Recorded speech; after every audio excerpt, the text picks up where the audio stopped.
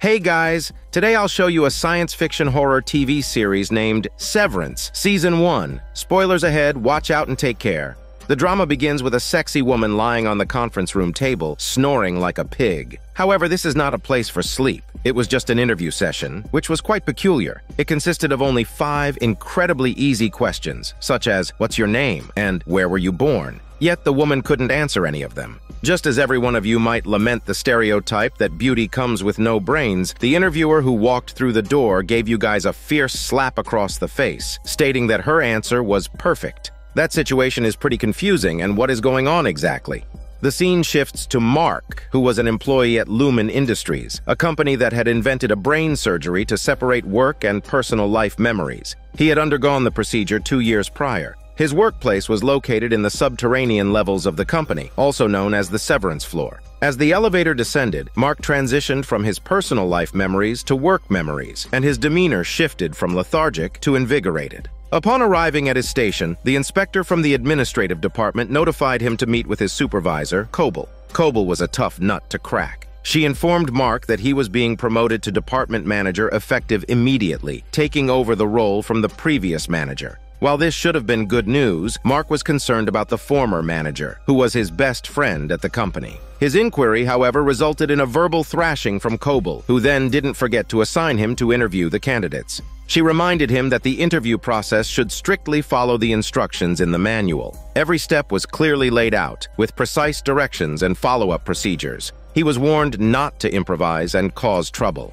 The camera shifts to the room where Mark is conducting interviews. The individual being interviewed is the woman named Helly, who is shown earlier. She gives off an impression of exceptional efficiency right from the start. Her auburn hair also hints that she's not the type to be easily manipulated. Plagued by mysterious amnesia, she is irked by the man across from her who rigidly adheres to his script, avoiding answering her questions directly. This frustrates Helly to the extent that she grabs a tissue box from the table and hurls it at Mark, then turns to flee the interview room.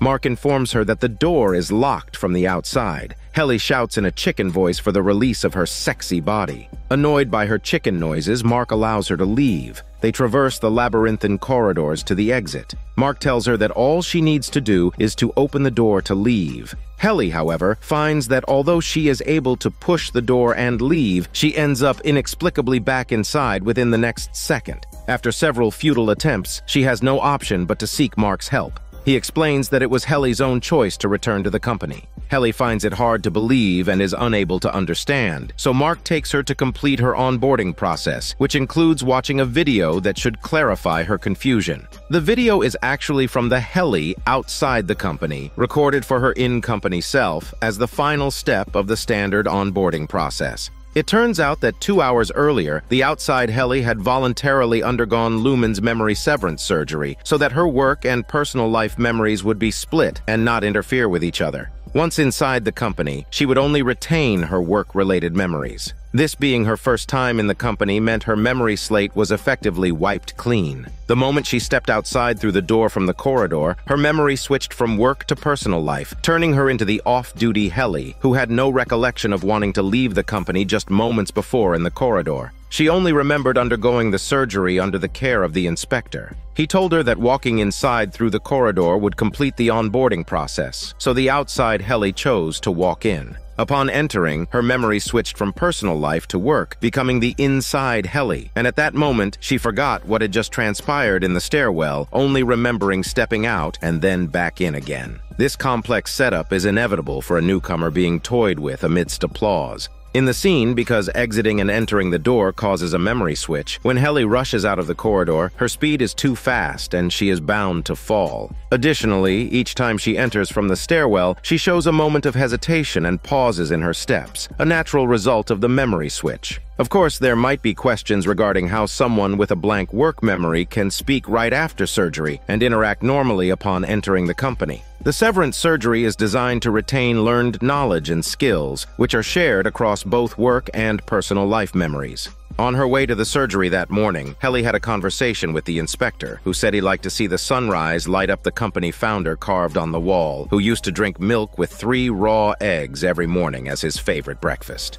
During the following interview, Mark asked a total of five questions, which could be categorized into three types. The first type pertains to learned knowledge, such as naming a state. The second type is information from the day itself, such as the information that the inspector revealed to Helly on their way to the surgery room, like what the founder's favorite breakfast is. The third type is daily life information, which includes three questions the interviewee's name, the state the interviewee was born in, and the eye color of the interviewee's mother. Helly answered correctly by naming a state, indicating that the severance surgery doesn't affect learned knowledge. It is reasonable to assume that learned skills are also unaffected, or else she wouldn't be able to function normally at work. However, for the other two types of questions, whether daily life information or information from the day of the surgery, Helly couldn't answer, which shows that regardless of the time frame, any personal life information is affected by the severance surgery. Helly completes her onboarding process. It's worth mentioning that something happened when she left work. When the elevator doors opened, we know Helly had switched to her personal life memories. Curiously enough, the inspector refers to the outie Helly as a company veteran. It seems Helly's identity is more complex than meets the eye. Additionally, after work, Helly nearly got hit by Mark in the parking lot.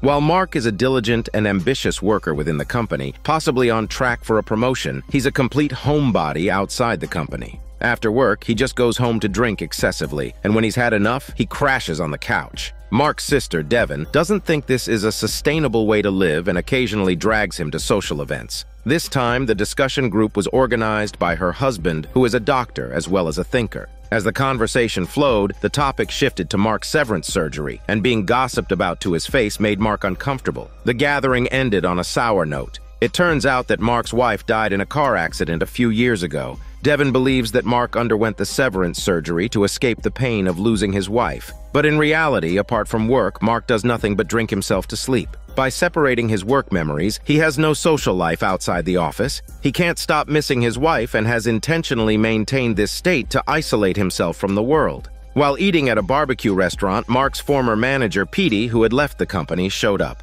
Petey had undone the severance surgery with the help of a mysterious person and regained his work memories. He revealed to Mark that the Lumon Company was involved in shady dealings and he was now being hunted by the company.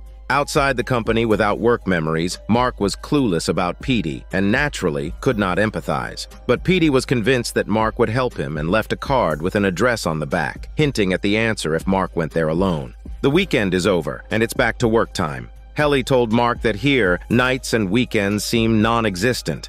As the department's new manager, Mark is tasked with introducing Helly to colleagues and familiarizing her with the work. The bearded Dylan is an outstanding employee in his department. He showed Helly various work awards he had received, ranging from mediocre eraser finger puppets to the highest honor of his own comic portrait. The older employee, Irving, is of average ability but has been with the company for a long time. His loyalty and obedience are unmatched, though he has no official position and often tries to meddle in everything. Their job is to sift through encrypted numbers in documents, selecting those that trigger emotional responses and categorizing them accordingly. The work sounds monotonous and mind-numbing, which Helly cannot stand. She asked Mark how one could resign, and Mark told her it's not that simple. To resign, one would need the agreement of their outie self. At the subsequent orientation meeting, Helly expressed a desire to communicate more with her outie self, but the inspector quickly dissuaded her. The Lumon Company strictly limits communication with the outside world. Taking notes out is not an option, as there are code recognizers in the elevators that prevent any written information from being transmitted. The control is so strict that when their former manager Petey left the company, he only informed them of the outcome. As for why Petey resigned or what happened to him outside, they were kept completely in the dark. Helly questioned Mark on why he no longer inquired about his best friend, Petey, just because the inspector said not to ask. Helly's question did not receive a straightforward answer from Mark. It seems that everyone has become accustomed to this rigid control outside of work, reminiscent of the prison walls. At first, everyone hates them, but once you get used to living within them, and over time, you find yourself depending on them. Mark and the others have long been a part of the control system, but Helly, having only joined the company two days ago, clearly isn't accustomed yet. Helly doesn't believe in this control and craves freedom, so she immediately makes a request to resign. Helly says she doesn't want to do document sorting, never see the sun again, or experience friends disappearing.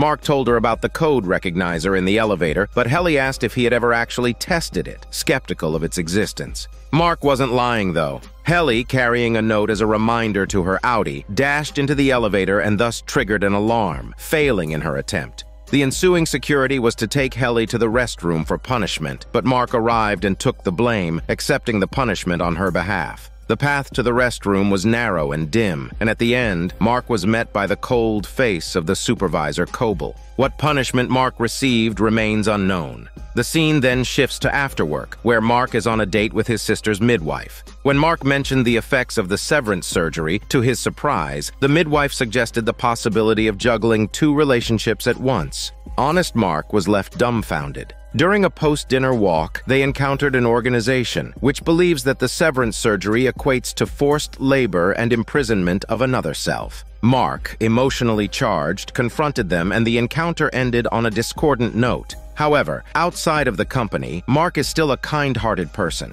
This clash led him to question the morality of the severance surgery. He remembered the former manager, Petey, and unusually took a day off the next day to find him, following the address Petey had left him. It turns out Petey had regained his memory two weeks earlier and had drawn a map of the severance floor at the company. He speculated that the company might be involved in some shady activities. Mark felt that things were not so simple, so he took Petey, who had nowhere else to go, back to his own home's basement. Then, a short sequence showed us the temporal and spatial confusion Petey suffered after regaining his memory. After regaining his senses, Petey told Mark about a secret department within Lumon Company where employees can never leave the company. But whenever Mark pressed for details, Petey's memory became confused, and they couldn't continue the conversation. Mark had no choice but to settle Petey down and return to the living room to begin his routine of drinking and watching Daniel CC Movie Channel. What he didn't know was that the neighbor lady had been monitoring his every move, and this neighbor was none other than his supervisor, Cobel. It seems that Cobel has been keeping a close watch on him or peeping at his personal life.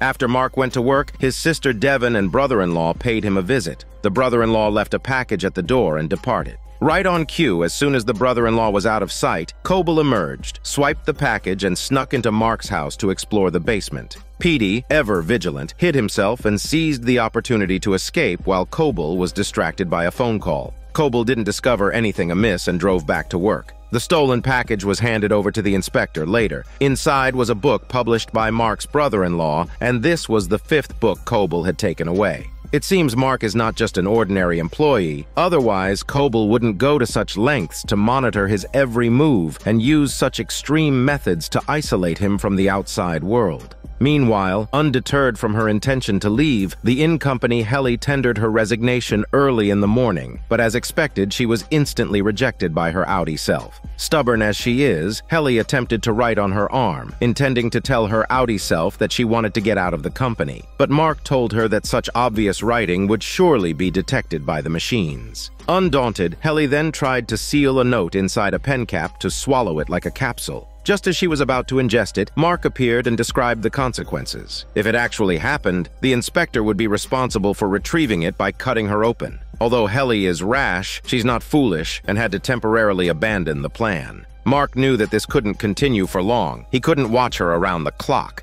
Following Irving's suggestion, Mark decided to organize a team-building event, a tour of the company's perpetuity wing to strengthen the new employees' identification with the company culture. This so-called perpetuity wing is actually a wax museum of Lumon's founder and the successive CEOs, each wax figure accompanied by an audio narration of their achievements. They then arrived at the Smile Wall, where Irving, captivated, explained that it showcased the smiles of people Lumon had helped. Irving holds the company's past administrators in high esteem, reciting their deeds by heart. Unfortunately, the other three don't share this sentiment. Mark prefers to take it easy, knowing that worrying is futile. As Dylan mentioned earlier, he's only focused on performance and rewards. Company rules and brainwashing culture are worthless to him. Helly, being new, has nothing on her mind but to find a way to escape. During the tour in the founder's room, Helly found a passage leading to a corridor, which she used to escape to the hallway she couldn't leave on her first day. After smashing a window with a fire extinguisher, she held out a note through it, reading, Never come back here, hoping to show it to her outie self to accept her resignation. But her plan was thwarted by Mark's timely arrival, spoiling her attempt. Helly looked at Mark, showing her resentment toward him.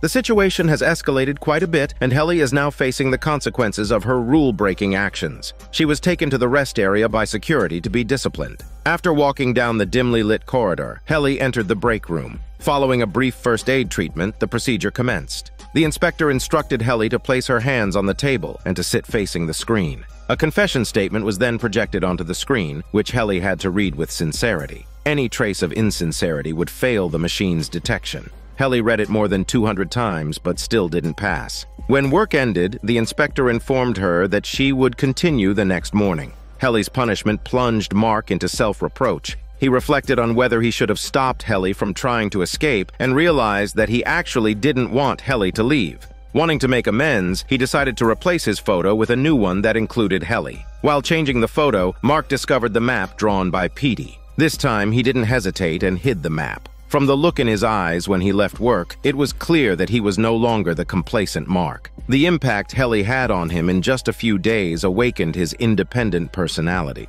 He began to view the events at the company differently. After work, Mark was also beset with troubles. He discovered that Petey had died at the gas station. To avoid unnecessary complications, Mark quickly went home to tidy up the basement where Petey had stayed. There, he found Petey's phone, which had countless missed calls. After some hesitation, he hid the phone. The next day, Helly returned to the break room and read the statement over and over, nearly breaking down. After 1,072 reads, she was sent back to the office. The actions of the company were eerily reminiscent of a cult's brainwashing tactics, but Helly was resilient, bouncing back quickly. She discussed the break room episode with Dylan, who generously taught her a trick. To fool the machine, she had to think of something she genuinely felt sorry about. For example, he liked to imagine his outie persona sleeping with other men's wives, and he felt pity for their husbands. Enlightened Helly went to report her progress to Mark and discovered his secret of hiding the map. She exploded in anger, accusing Mark of hypocrisy for preaching to her about following rules while breaking them himself. Caught red-handed, Mark, who was long brainwashed, instinctively defended the company. Seeing his reaction, Helly realized she needed to take drastic measures. She confronted Mark, saying he was nothing but a lapdog, caring more about the company than his friends. But in a fit of anger, Mark destroyed the map. Just then, Irving came back to tell Mark that something big had happened. It turned out that while Helly was being punished in the break room, Irving was invited by Burt, the head of the optics and design department, to visit his department. Burt patiently introduced the department he managed, which had just two employees, whose daily work was to frame pictures and hang them in designated spots within the company. It's worth noting that Lumon's unspoken rules discourage interaction between departments, subtly fostering a sense of animosity that keeps them from mingling. Irving and Burt had only met during a wellness consultation two days prior. As they admired a painting, they felt love for each other, and nothing can stop it, not even the company's rules. On his way back, the impulsive Irving stumbled upon a book, the very one that Mark's brother-in-law had given to him. The inspector, for some reason, intercepted the book and started reading it himself, but then left it in the conference room amidst the commotion caused by Helly. The big news that Irving referred to was the discovery of a red book. Mark asked if anyone had encountered such a situation before. He knew that reading books not listed in the manual was absolutely forbidden. Perhaps spurred by Helly's earlier taunting, Mark said he shouldn't read it, but his body betrayed his words. Upon opening the book, he found a message to Mark signed by his brother-in-law. Inside Lumon, Mark certainly had no memory of his brother-in-law, but he recognized his own name, so Mark hid the red book. The three returned to the office to find that Helly was no longer there. Her disillusionment with Mark's words had reached a breaking point, and she was determined to leave by any means necessary. Since textual messages couldn't be taken out, she had to think of something else. Helly, armed with a paper cutter, barged into Cobel's office, threatening him for a video recorder. She intended to record a resignation message for her Audi self. If she didn't get the recorder, she would cut off her own fingers. Cobel's expression made it clear that this was the first time she had seen such brazen behavior. Helly got her way, leaving with the recorded disc in the elevator. Before departing, she defiantly stated that although she had read the script in the break room for over 1,000 times, she was not subdued. Ultimately, Lumon taught Helly a lesson, as her outie self sent her back to the company, along with a new disc. The wall clock indicated that more than two hours had passed during her elevator trip, and the despair Helly must have felt is imaginable. However, something even more brutal awaited her. Helly had always thought it was the company preventing her resignation, but the disc brought back contained a warning from her outie self, saying that only her outie self could make the decisions for her. The outie then warns her in-company self that if she dares to joke with her fingers, she will make her regret being alive. This revelation left the in-company Helly completely dumbfounded. She had done so many escape attempts, including swallowing pen caps, threatening to cut fingers, and reading the script many, many times, only to find out that the one exploiting her was herself. Mark also felt the same shock. It turned out that their outie selves didn't regard their company selves as human. They appeared unfazed, but undoubtedly a storm was raging inside them. The next day, everyone arrived at work on time. Everything seemed normal, but their minds were far from their work. Mark hid in the bathroom, where he found the red book he hadn't turned in. Through the book, his brother-in-law highlighted the essence of Lumon's control over them. Meanwhile, Irving began to assert his individuality, using the discussion about the paintings as an excuse to reconnect with his gay friend Burt. But this time, by chance, Irving discovered that Burt had lied to him. His department had more than just two people.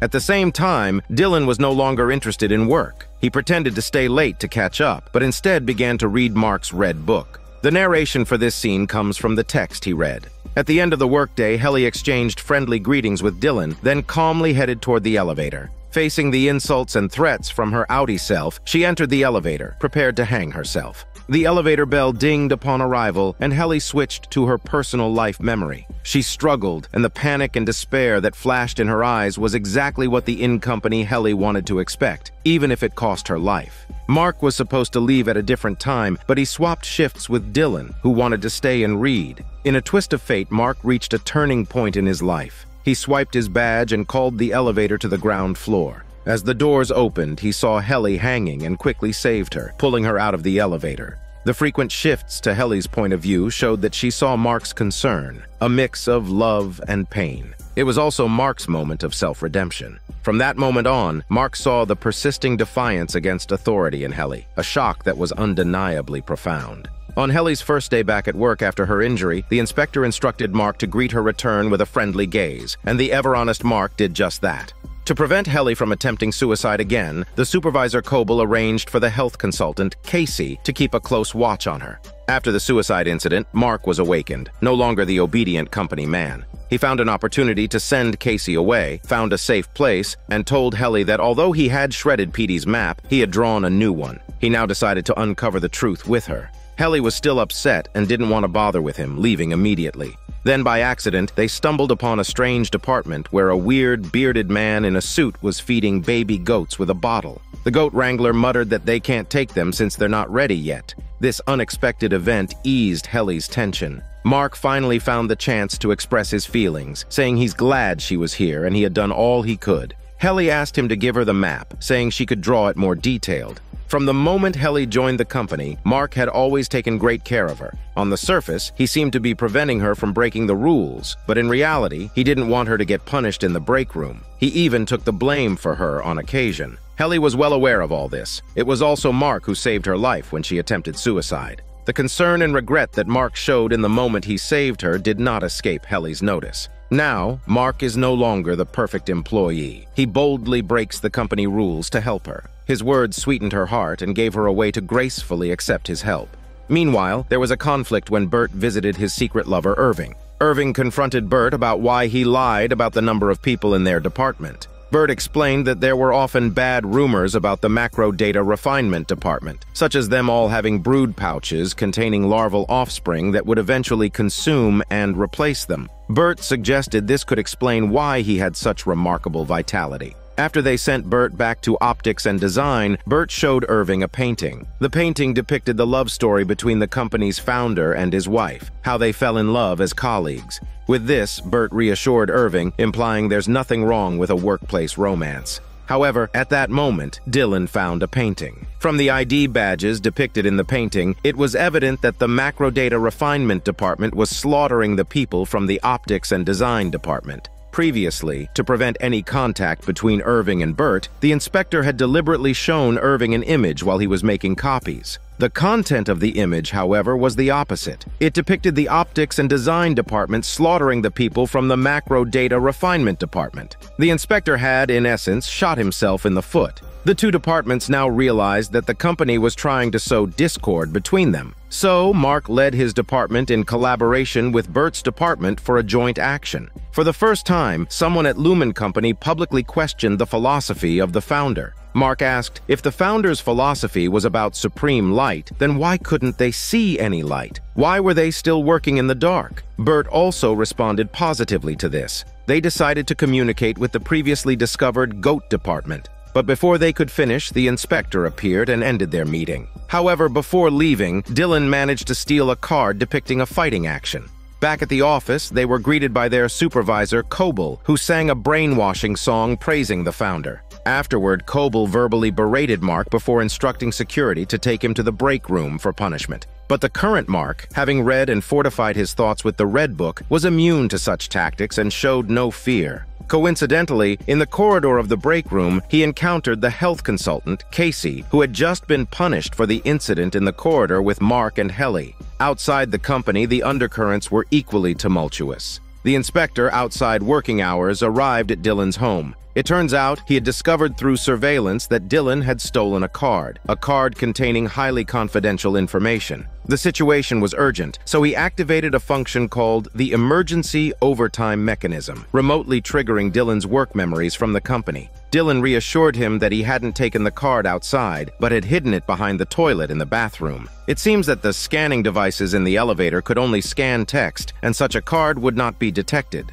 Just then, Dylan's son burst in. The inspector said to the child that he should wait outside because he had told him to count to 1,000. In disbelief, Dylan, with his work memories triggered, asked if this was his child. The inspector quickly made a call to disable the emergency overtime feature. After a zoom effect, Dylan at his home switched back to memories of his life. In an unexpected situation, the outie Mark attended Petey's daughter's concert. The lingering impact of the music was strong, or perhaps it was the conversation with her after the show that touched him. Using the cell phone left by Petey, Mark called a number that had been unanswered, connecting with a woman who led him through a maze of streets, informing him along the way that she was the company's tech employee and she had implanted Mark's chip. She was the only one who could disable it. The operation to restore Petey's memory was her work. If Petey heeded her post-op instructions and not wandered, he might not have died. Eventually, they arrived at a room in a dark basement, which seemed to be the place where Petey had the surgery. Mark thought the tech lady was going to operate on him and immediately clarified he did not want the chip to be deactivated. The woman, once an accomplice of Lumon, had accumulated too much guilt. She was well aware of the ugliest aspects of humanity brought by these surgeries. She said they should not bring someone into the experiment without one's consent just to fulfill their emotional desires. The outie Mark realized the seriousness of the issue. He needed to correct his mistake. Just then, the security traced the tech lady's hideout through intelligence. She took the opportunity of the security's conversation with Mark to sneak up from behind, delivering a fatal blow with a baseball bat, not forgetting to make an additional cut. It seemed that those who could survive in Lumon were ruthless. The scene was too bloody, Mark could hardly keep from vomiting. The woman told him not to vomit to avoid leaving DNA. Mark had no choice but to swallow it back. Afterward, the woman gave Mark the security's access card, which had comprehensive permissions and couldn't be traced back to a user. She advised him to put it in his pocket when going to work. Mark inside the company naturally knew what to do. It appeared that the tech lady was well informed about the goings-on in the company's severance floor, probably due to an informant inside. The next day at work, possibly influenced by the tech lady's words from the night before, the outie Mark felt conflicted, fearful that his conscience would pain him. He brought the security's access card to the severance floor. Upon opening the elevator, Mark saw the inspector waiting. Arriving at the office door, Mark discovered the company had installed a new door, which now required the inspector's card to enter. The inspector announced that due to Helly's excellent work, the precision of document inspection reached 75%, earning the department a five-minute dance break with music. With Helly choosing rebellious jazz, the office turned into a neon dance hall, flashing red, yellow, and blue, a rare opportunity on the severance floor, and everyone happily danced except Dylan, because the previous night's emergency overtime made his in-company self aware that he had a son at home, making him uncontrollably yearn to experience life outside the company and be with his son. However, the company's policies made this impossible, fueling his anger. The elegant jazz became grating noise in his ears, and the calls of his son echoed in his mind. As the neon lights turned a dark red, his anger peaked. He pounced on the inspector, demanding to know his son's name. Mark and Helly hurried to separate them. Confused and angered by the attack, the inspector threatened to report Dylan to the supervisor. But Dylan believed that the emergency overtime was the inspector's unilateral decision to cover a work mistake, and that morning he had even asked Dylan to keep it a secret. If Cobel found out, the inspector would be in trouble. So Dylan confronted him head-on, and the inspector, having no recourse, spitefully canceled their dance break before leaving. Dylan then told everyone about the emergency overtime and how the company could remotely activate their in-company memories. He had seen his son outside the company. While everyone was pondering whether Dylan's son had anything to do with Dylan inside the company, Helly urged them to have some ambition and seize control of the memory device so everyone could see the outside world and understand who they really were.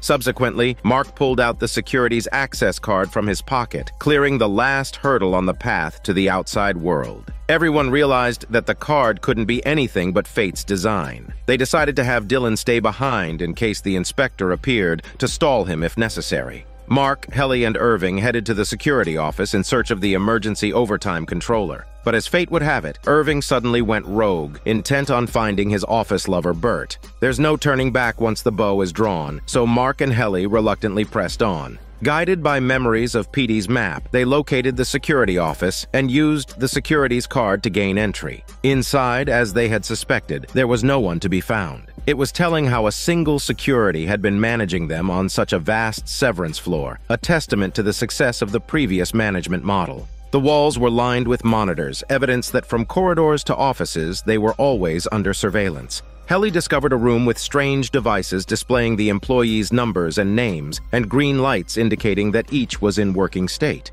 Scanning the room, Helly found their four names. On the panel, there was a knob for adjusting values and a switch marked Lock Unlock. This revealed that Lumon could exert various levels of control over them, akin to remote controlling robots. Helly then found an operation manual and began flipping through it when Mark spotted Cobel on the monitors, taking the elevator to their floor. With time pressing, Helly hastily tore out the page containing instructions for the emergency overtime procedure, and they quickly left the office. Fortunately for them, Cobel was in no position to cause them trouble at that moment, as the board had discovered the security's death. They had urgently communicated with Cobel through the board secretary. Cobel suggested that the person who had killed the security might be the same person who had restructured Petey's memory. The restructuring of memory had indeed occurred, and Cobel intended to present evidence of this directly to the board members, bypassing any intermediaries. The prospect of restoring memories from the severance surgery shocked the board, and they reluctantly agreed to Cobel's request for a direct meeting. On the other side, Irving found himself at Burt's optics and design department. As he arrived at the entrance, he was taken aback. No wonder the inspector hadn't shown up when they were leaving. It turns out he'd been busy throwing a retirement party for Burt. Ironically, the ceremony began with a video of Burt's retirement speech, recorded outside the company. He knew he would never see his first love and closest friend, Burt, again. This was clearly the company's way of punishing them for the last time the two departments had met. After a ceremonious handshake and farewell with Burt, Irving followed the inspector out, lost in a maze of thoughts as he walked through the labyrinthine corridors. Love truly is the greatest. Even Irving, a loyal workhorse deeply brainwashed to see the company as his home, recognized the cruelty of his suppression for the sake of his love. From that moment, he no longer believed in the company's proclaimed values. He wanted nothing more than to destroy the place. When even the most stubborn conservative rebels, the coming events are certainly worth looking forward to.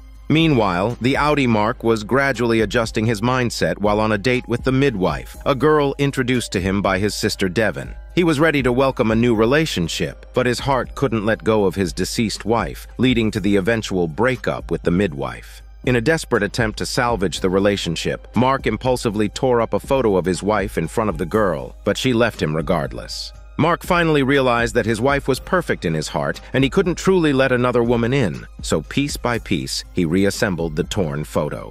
As the picture became whole again, it's revealed that Mark's wife was in fact Casey, the in-company health consultant at Lumon. Previously, Petey had told Mark about a strange department where people never leave the company. It seems that he was referring to someone like Mark's wife. The scene shifts, and we get a glimpse of Irving's life outside the company. Returning home, Irving listens to the rock music and paints oil paintings, presenting a surprising contrast. The painting frame looks familiar, actually suggesting his intention to show through his paintings how Cobel removed a chip from Petey's brain at his funeral. Back at the company, Helly was intently working at her computer. Mark and the others were in the break room, anxious as ants on a hot pan. Dylan had finished the quarterly work a week ago, but he still believed that with Helly's negative attitude, it was doubtful she'd complete her tasks. Although Irving had emancipated his thoughts, his thinking was still entrenched in the Lumon Company's ways. He suggested that they all stand behind Helly, sing her name, and cheer her on. Mark, however, had faith that Helly would finish on time. After all, for someone as relentless as her, who could be ruthlessly self-demanding, this workload was nothing.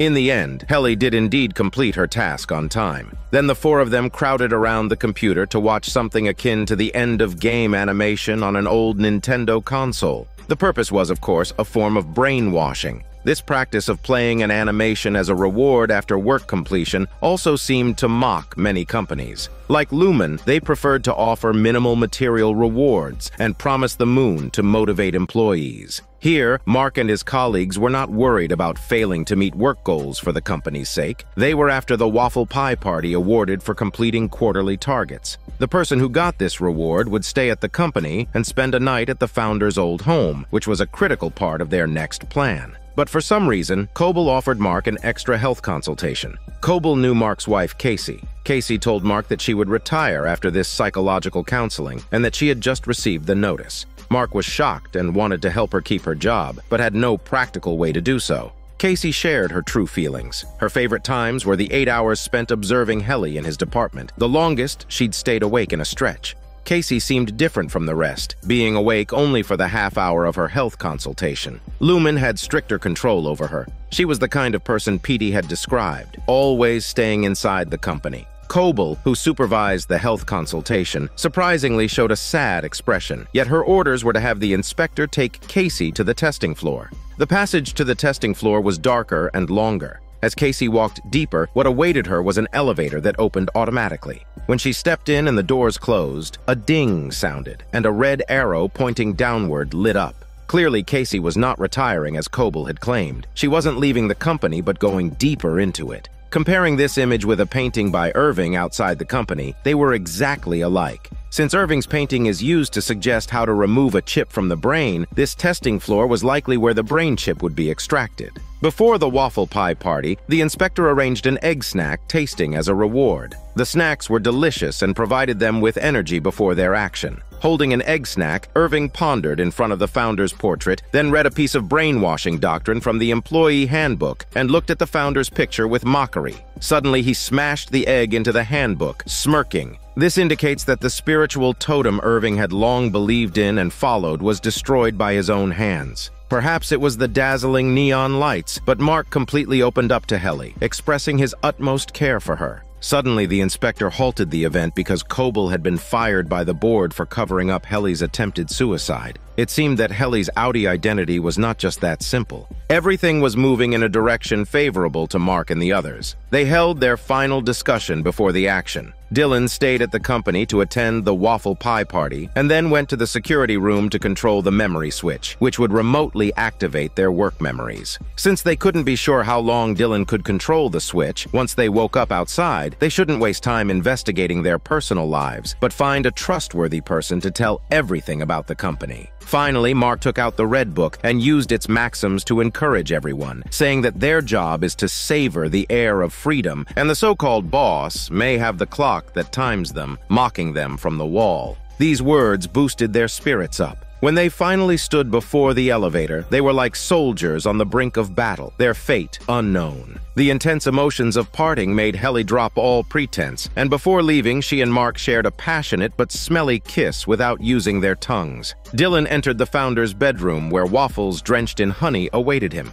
After he devoured the waffles, a cheeky sentence appeared at the bottom of the plate, telling him to head to the founder's bed. The phrase was suggestive, to say the least. Looking up, Dylan saw the founder's head on the bed. It seems that this reward for Dylan was really just a trip to a haunted house. Approaching the bed, Dylan's hanging heart finally settled. Thankfully, it was just a mask. On the bed lay a whip, possibly used for S&M, but upon closer inspection we could see it's the whip with nine tails, each tail clearly labeled with one of the founder's nine virtues. Dylan sat on the bed, donning the founder's mask, and then three sexy women with different expression masks started dancing wildly in TikTok style. They were joined by an ugly man in a ram mask, forming the Four Temperaments ensemble, which includes woe, frolic, dread, and malice. Indeed, their over-the-top styling really deserves each of them a good whipping. But with a task at hand, Dylan had to curb his bad temper and slipped away to the security room, leaving the baffled Four Temperaments behind. Dylan entered the security room and tied the door handle with his belt, locking the door from the inside. He reached the personnel control terminal and began to operate it by the book. After pressing the function key, he selected Mark, Helly, and Irving. Upon confirming the selection, the system prompted him to unlock the circuit, meaning turning the knob next to their nameplates to the unlock position.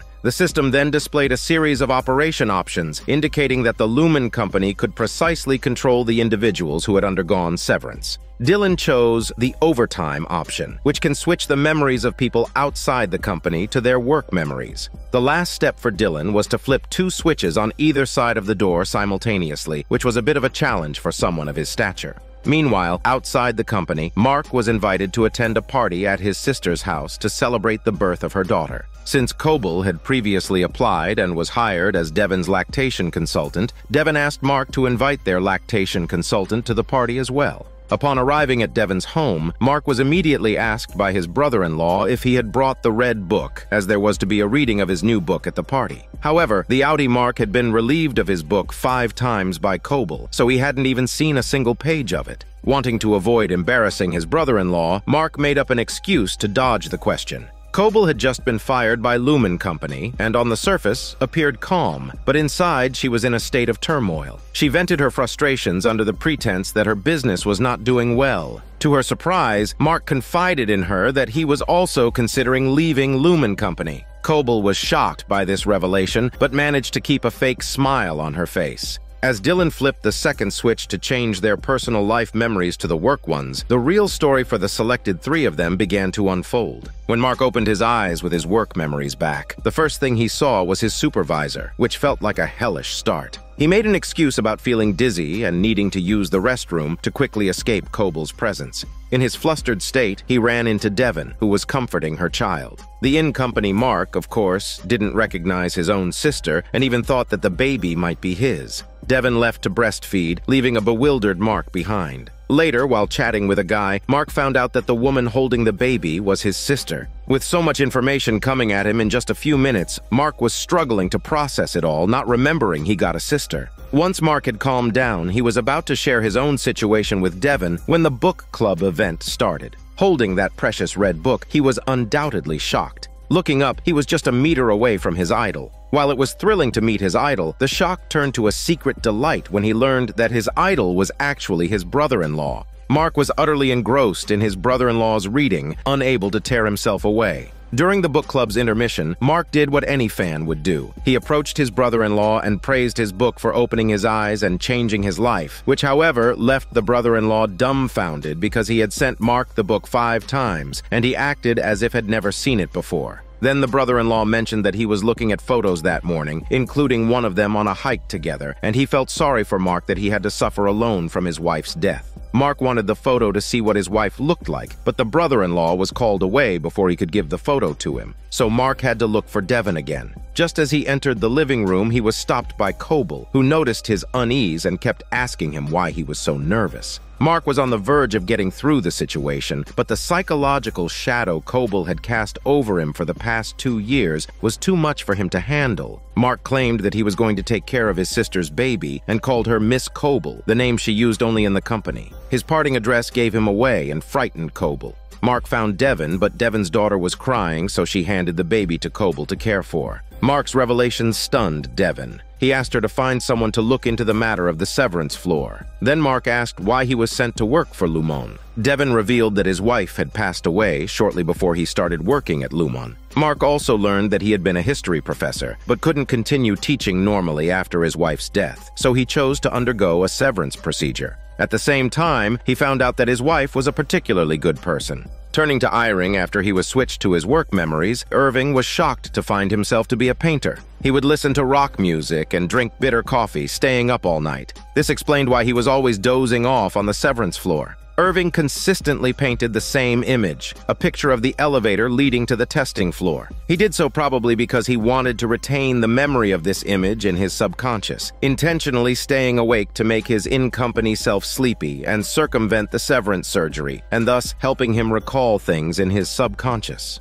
From the medals displayed on the desk and wall, it was evident that Irving had been a soldier. In the wardrobe, he found a box containing a U.S. Navy uniform, and inside was a photo of a handsome man with father written on the back. It seemed that Irving's father had also served in the U.S. Navy. Growing up in a military family might explain his strong compliance on the severance floor. It appeared that the severance surgery couldn't affect certain traits embedded in one's subconscious. Irving discovered a plethora of documents at the bottom of the box, all related to investigations into Lumon Industries and the severance surgery. It turned out that Irving outside the company was aware of the shady dealings at Lumon and had been conducting investigations long ago. Among the documents was a list of severed employees, and he found Burt's information, including his address. Attached was a map of Kier City, and upon searching for Burt's address on the map, Irving realized that Burt's name was already marked on it. It appeared that the outie Irving had previously made contact with Burt, suggesting they were acquainted. Since Mark and Casey have a marital relationship in reality, they show a mutual fondness in their subconscious when undergoing enhanced psychological health counseling on the severance floor. Similarly, considering Irving and Burt's fondness on the severance floor and the fact that they knew each other outside the company, it can be inferred that Irving and Burt likely shared a close relationship outside the company as well.